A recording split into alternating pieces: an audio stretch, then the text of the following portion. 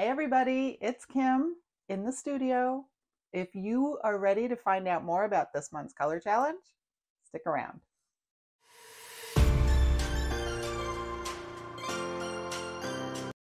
And our first color out of the five, cerulean blue.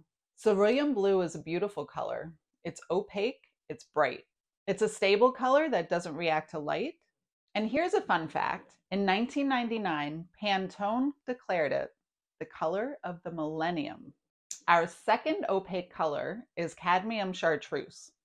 It's a cool yellowish green, but be warned, a little of this color goes a long way.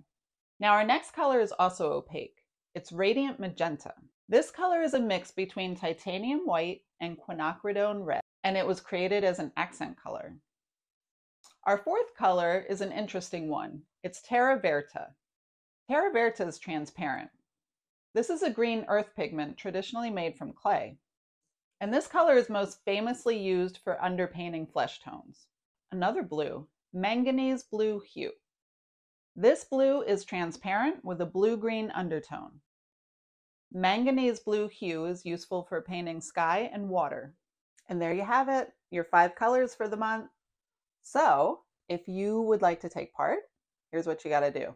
Do your paintings, with the five colors I just talked about, pop on over to Instagram and tag me with your final masterpiece. I cannot wait to see what you do with this color challenge.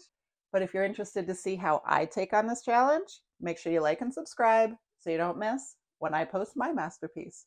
Well, my hopeful masterpieces. And with that, let's get painting. I'll see you soon.